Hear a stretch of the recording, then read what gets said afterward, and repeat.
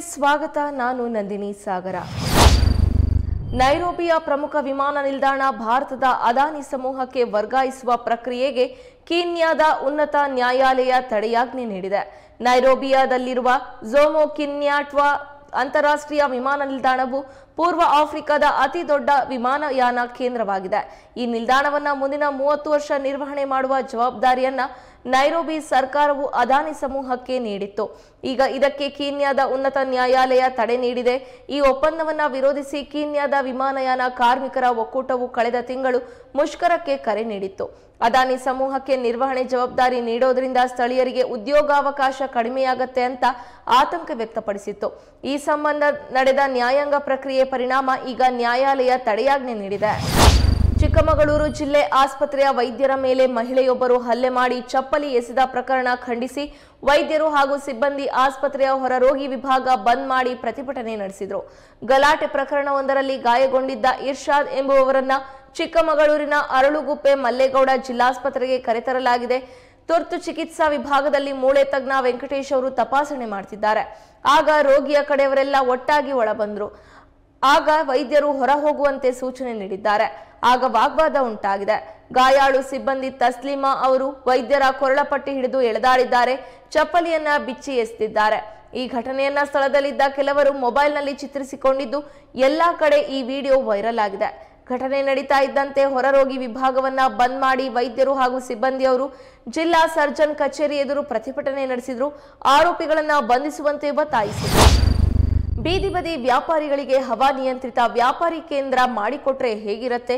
ಇಂತಹ ಯೋಜನೆಯನ್ನ ಸಾಕಾರಗೊಳಿಸಿರೋದು ಬ್ರ್ಯಾಂಡ್ ಬೆಂಗಳೂರು ಯೋಜನೆ. ವಿಜಯನಗರದಲ್ಲಿ ದಕ್ಷಿಣ ಭಾರತದ ಮೊಟ್ಟ ಮೊದಲ ಹವಾನಿಯಂತ್ರಿತ ಶ್ರೀ ಕೃಷ್ಣದೇವರಾಯ ಪಾಲಿಕೆ ಬಜಾರ್ ಆರಂಭವಾಗಿದೆ. ಇನ್ನು ನೆಲಮಾಳಿಗೆಯಲ್ಲಿ ನಿರ್ಮಿಸಿರುವ ವ್ಯಾಪಾರ ಕೇಂದ್ರ. ವಾಸ್ತವವಾಗಿ ಯೋಜನೆ ಎರಡ್ ಸಾವಿರದ ಹದಿನೇಳರಲ್ಲಿಯೇ ಮಂಜೂರಾತಿ ಸಿಕ್ಕಿತ್ತು. ಈಗ ಕಾಮಗಾರಿ ಮುಕ್ತಾಯವಾಗಿದೆ. ಮುಖ್ಯಮಂತ್ರಿ ಸಿದ್ದರಾಮಯ್ಯ ಅವರು ಈ ಯೋಜನೆಗೆ ಕಳೆದ ವಾರವೇ ಚಾಲನೆ ನೀಡಿದ್ದಾರೆ. ಇಲ್ಲಿ ಒಂಬತ್ತು ಚದರ ಮೀಟರ್ ವಿಸ್ತಾರದ ಎಂಬತ್ತೊಂದು ಮಳಿಗೆಗಳಿವೆ. ಭದ್ರತಾ ಸಿಬ್ಬಂದಿ ಕೊಠಡಿ, ವಿದ್ಯುತ್ ನಿರ್ವಹಣಾ ಸಿಬ್ಬಂದಿ ಕೊಠಡಿ ಇವೆ. ಪ್ರತಿ ಮಳಿಗೆಯಲ್ಲೂ ಅಗ್ನಿಶಾಮಕ ಉಪಕರಣಗಳು ಇವೆ. ಈಗ ಗಣಪತಿ ಹಬ್ಬದ ನಂತರ ಬೀದಿ ಬದಿ ವ್ಯಾಪಾರಿಗಳು ಈ ಬಜಾರ್ನಲ್ಲಿರುವ ಮಳಿಗೆಗೆ ಬಂದಿದ್ದಾರೆ. ದೆಹಲಿಯಲ್ಲಿ ರಾಜೀವ್ ಚೌಕ ಮೆಟ್ರೋ ನಿಲ್ದಾಣದ ಬಳಿ ನಿರ್ಮಿಸಿರುವ ಪಾಲಿಕೆ ಬಜಾರ್ ಮಾದರಿಯಲ್ಲಿ ಬೆಂಗಳೂರಿನ ಬಜಾರ್ ನಿರ್ಮಾಣ ಆಗಿದೆ.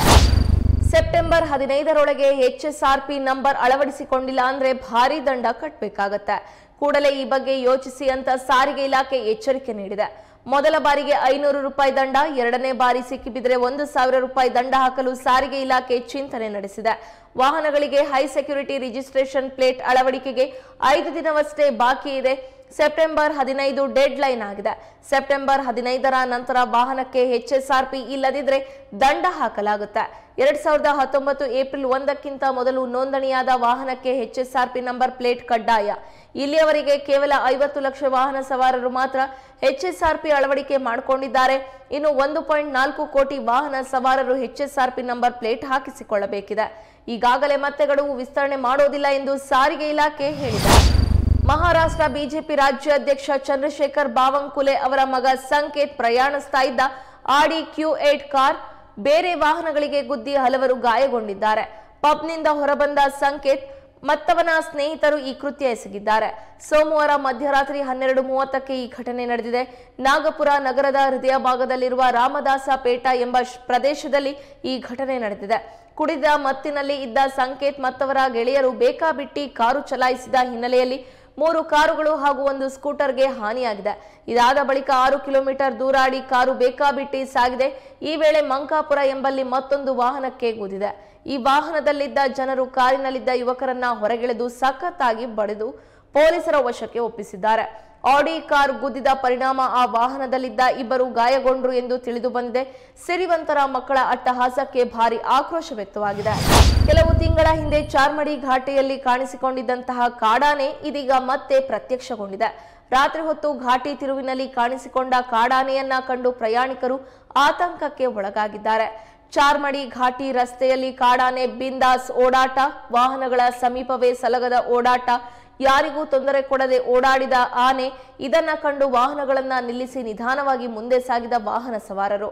ಕಳೆದ ಮೂರ್ನಾಲ್ಕು ತಿಂಗಳಿನಿಂದ ಚಾರ್ಮಡಿ ಘಾಟಿ ಪ್ರದೇಶದಲ್ಲಿ ನಿತ್ಯ ಪ್ರಯಾಣಿಕರಿಗೆ ಕಾಣಿಸಿಕೊಳ್ತಾ ಇದ್ದ ಕಾಡಾನೆ ಇದೀಗ ಮತ್ತೆ ದರ್ಶನ ನೀಡ್ತಿದೆ. ರಾಜಸ್ಥಾನದ ಆಳಂದ್ ಪಟ್ಟಣದ ನಿವಾಸಿಗಳು ಇತ್ತೀಚೆಗೆ ಗ್ಯಾಸ್ ಸಿಲಿಂಡರ್ ಡೆಲಿವರಿ ಸಮಸ್ಯೆಯಿಂದ ತೀವ್ರ ಸಂಕಷ್ಟ ಅನುಭವಿಸ್ತಾ ಇದ್ದಾರೆ. ಸಿಲಿಂಡರ್ಗಳ ಬುಕ್ ಮಾಡಿದ ನಂತರ ಡೆಲಿವರಿ ಮೆಸೇಜ್ ಬಂದರೂ ಸಿಲಿಂಡರ್ ಮನೆಗೆ ತಲುಪದ ಸಮಸ್ಯೆ ಹೆಚ್ಚಾಗಿದೆ. ಜನರು ಗ್ಯಾಸ್ ಪಡೆಯಲು ತಮ್ಮ ಕೆಲಸ ಕಾರ್ಯಗಳನ್ನ ಬಿಟ್ಟು ಎಲ್ಪಿಜಿ ಕೇಂದ್ರಗಳಿಗೆ ತೆರಳಿ ಕ್ಯೂನಲ್ಲಿ ನಿಂತು ನಂಬರ್ ಬಂದ ನಂತರ ಸಂಪೂರ್ಣ ಹಣ ಪಾವತಿಸಿ ಗ್ಯಾಸ್ ತೆಗೆದುಕೊಂಡು ಬರಬೇಕಾದ ಪರಿಸ್ಥಿತಿ ಉಂಟಾಗಿದೆ. ದಿನ ಬಳಕೆಯ ವಸ್ತುಗಳಲ್ಲಿ ಗ್ಯಾಸ್ ಅಗತ್ಯವಾಗಿರೋದರಿಂದ ಅಧಿಕಾರಿಗಳು ಈ ಸಮಸ್ಯೆಗೆ ಶೀಘ್ರದಲ್ಲಿ ಪರಿಹಾರ ಒದಗಿಸಬೇಕು ಅಂತ ಜನರು ಬೇಡಿಕೆ ಇಟ್ಟಿದ್ದಾರೆ. ಈ ಸಮಸ್ಯೆ ಕುರಿತು ಇಲ್ಲಿನ ನಿವಾಸಿಗಳು ಅನೇಕ ಬಾರಿ ಸಂಬಂಧಿತ ಅಧಿಕಾರಿಗಳಿಗೆ ತಿಳಿಸಿದರೂ ಕೂಡ ಇದುವರೆಗೂ ಸುಧಾರಣೆ ಕಾಣಿಸುವ ಯಾವುದೇ ಲಕ್ಷಣಗಳು ಕಾಣ್ತಿಲ್ಲ. ಇದರಿಂದ ನಿವಾಸಿಗಳು ಗ್ಯಾಸ್ ಅಧಿಕಾರಿಗಳ ವಿರುದ್ಧ ಅಸಮಾಧಾನ ಹೊರಹಾಕಿದ್ದಾರೆ. ದಿನ ಬಳಕೆಯ ವಸ್ತುಗಳಲ್ಲಿ ಗ್ಯಾಸ್ ಅಗತ್ಯವಾಗಿರುವುದರಿಂದ ಅಧಿಕಾರಿಗಳು ಈ ಸಮಸ್ಯೆಗೆ ಶೀಘ್ರದಲ್ಲಿ ಪರಿಹಾರ ಒದಗಿಸಬೇಕು ಎಂದು ಜನರು ಬೇಡಿಕೆ ಇಟ್ಟಿದ್ದಾರೆ. ಮ್ಯಾಕ್ಸ್ವಾದಿ ಕಮ್ಯುನಿಸ್ಟ್ ಪಕ್ಷದ ಪ್ರಧಾನ ಕಾರ್ಯದರ್ಶಿ ಸೀತಾರಾಮ್ ಯಚೂರಿ ಅವರ ಆರೋಗ್ಯ ಸ್ಥಿತಿ ಚಿಂತಾಜನಕವಾಗಿದೆ. ಕೆಲ ದಿನಗಳ ಹಿಂದೆ ಅವರನ್ನೇ ಏಮ್ಸ್ ಆಸ್ಪತ್ರೆಗೆ ದಾಖಲಿಸಲಾಗಿತ್ತು. ಈಗ ಐಸಿಯುಗೆ ಸ್ಥಳಾಂತರಿಸಲಾಗಿದೆ. ಅವರ ಆರೋಗ್ಯ ಸ್ಥಿತಿಯ ಮೇಲೆ ವೈದ್ಯರು ತೀವ್ರ ನಿಗಾ ವಹಿಸಿದ್ದಾರೆ ಅಂತ ಸಿಪಿಐಎಂ ಪಕ್ಷದ ಪ್ರಕಟಣೆಯಲ್ಲಿ ತಿಳಿಸಲಾಗಿದೆ. ಶ್ವಾಸಕೋಶದ ಸೋಂಕಿನ ಚಿಕಿತ್ಸೆಗಾಗಿ ಸೀತಾರಾಮ್ ಯೆಚೂರಿ ಅವರನ್ನ ಆಗಸ್ಟ್ ಹತ್ತೊಂಬತ್ತರಂದು ದೆಹಲಿಯ ಏಮ್ಸ್ ಆಸ್ಪತ್ರೆಗೆ ದಾಖಲಿಸಲಾಗಿತ್ತು. ಆರೋಗ್ಯ ಸ್ಥಿತಿ ಹದಗೆಟ್ಟ ಕಾರಣ ಐಸಿಯುಗೆ ದಾಖಲಿಸಿ ವೆಂಟಿಲೇಟರ್ ಅಳವಡಿಸಲಾಗಿದೆ. ಯೆಚೂರಿ ಅವರು ಇತ್ತೀಚೆಗೆ ಕಣ್ಣಿನ ಪೊರೆ ಚಿಕಿತ್ಸೆಗೂ ಒಳಗಾಗಿದ್ದರು. ಇದಿಷ್ಟು ಇಂದಿನ ಸ್ಪೀಡ್ ನ್ಯೂಸ್. ಮತ್ತಷ್ಟು ಅಪ್ಡೇಟ್ಸ್ಗಾಗಿ ನೋಡ್ತಾ ಇರಿ Kannada medium twenty four into seven